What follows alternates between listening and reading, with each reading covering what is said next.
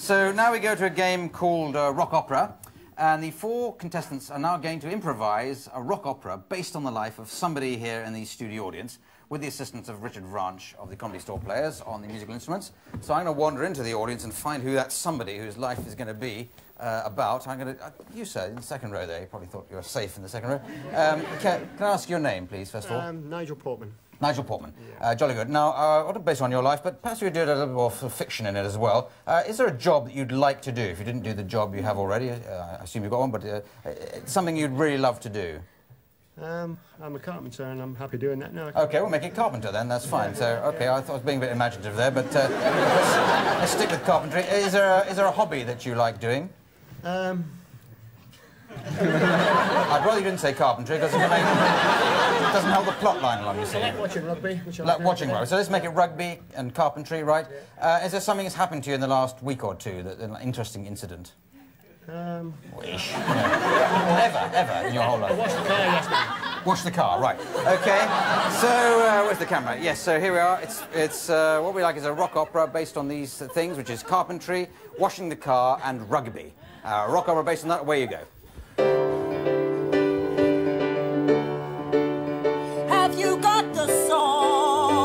I've got the saw. And I have the hammer and a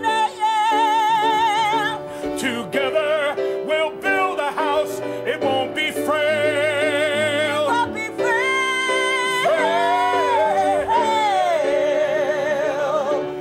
I love you. Do you love me? I love everything about carpentry.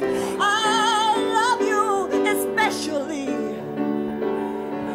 You and me, babe, working so hard, building this house in our backyard. It's heaven. Heaven. Heaven. Heaven. But where is our friend? Where can he be? I heard he journeyed far to rugby. Yes, he did. And he'll show up soon. What are you doing here? I'm talking to you.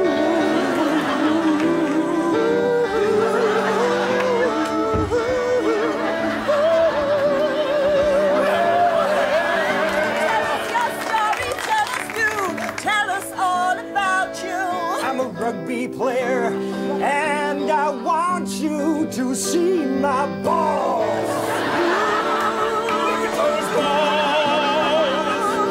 What massive balls. But you know, rugby is very far. You've obviously dirtied your car on the way.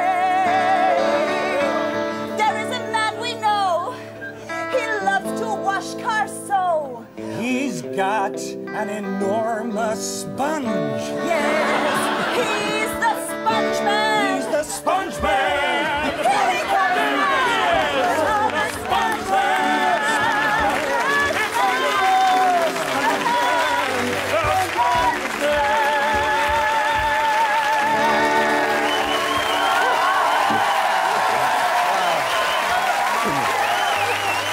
Very good.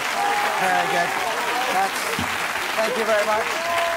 Thank you.